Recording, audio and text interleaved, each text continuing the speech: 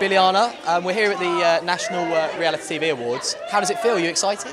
It's so exciting. It just goes to show, like, it doesn't matter when you go. It's it's about the presence, right? So. I know. Now you went first week, um, and you're nominated for Best Female this year. Were you surprised? I was extremely surprised. Um, again, as I, as I just said, it just goes to show. It's about your performance and what you say, and I, I, I think people appreciated the fight in the boardroom. Got to fight for your cause. So.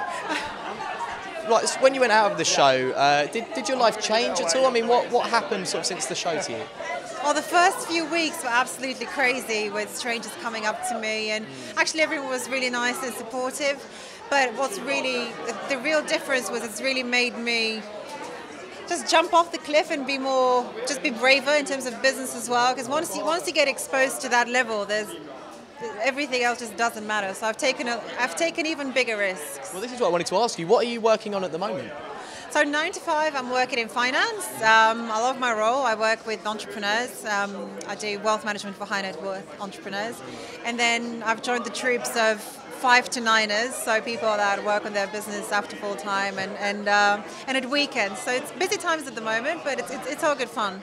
Right now, Jade's nominated in your same category. Um, is there any competition between you two?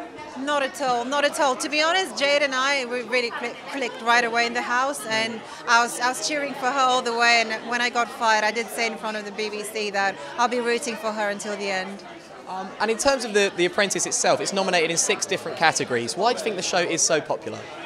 I think the show is really inspirational. I think it's it's really played a key role in, spark, in sparkling that um, enthusiasm about setting up your own business. It's, it's actually very educational and educational and inspirational. It is a great program. It's so professional. So I just hope we win all the awards. It's totally deserved.